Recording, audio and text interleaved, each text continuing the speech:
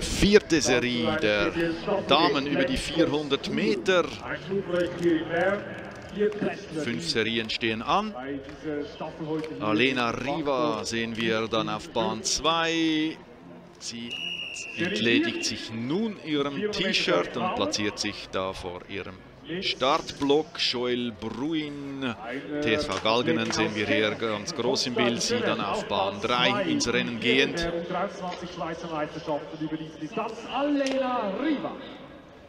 Also, groß im Bild nun Alena Riva, die vierte der U23 Schweizer Meisterschaft des letzten Jahres. Joel Bruin, sechste der U20 SM letztes Jahr. Daniela Widler, TV Muttenz Athletics.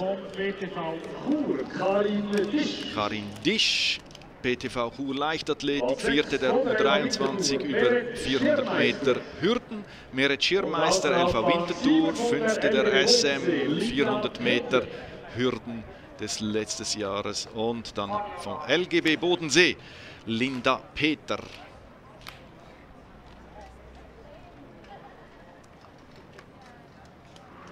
Hier die persönlichen Bestleistungen im Bereich von 57 bis 58 oder 59,05 bei Merit Schirmeister.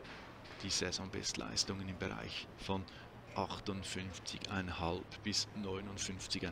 Also das wird auch wieder eine sehr knappe Angelegenheit geben mit einer vielleicht leichten Favoritin auf Bahn 4, Daniela Wiedler. Von innen nach außen.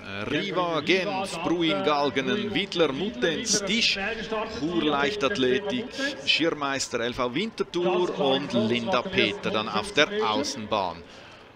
Und es ist Wiedler, die mit einem horrenden Tempo Dampf macht auf den ersten 200 Meter. Aber ob sich das dann ausgeht zum Schluss, das werden wir sehen. Aber mit einem fulminanten Start Daniela Wiedler von TV Mutens Athletik. Sie mutet sich da einiges zu. 58,61 ihre Saisonbestleistung. Und es ist Wiedler, die da klar führt.